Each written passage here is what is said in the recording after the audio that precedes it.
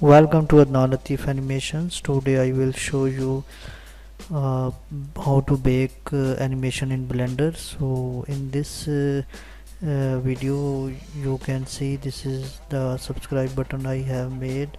So it contains uh, particles particles when I hit render and go to render this animation the render and rendering frames are does not works properly. So what is that uh, the solution of you must need to bake your animation first. So I am going to bake this animation. You can see in here the timeline is only two keyframes. So how to bake uh, animations? First uh, I am going to select the animated object. The text text is not animated. I am applying a particle so select turbulence and then go to object animation and then click on bake animation.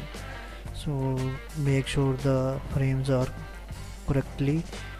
So then click on ok. When you click on ok the animation is going to bake.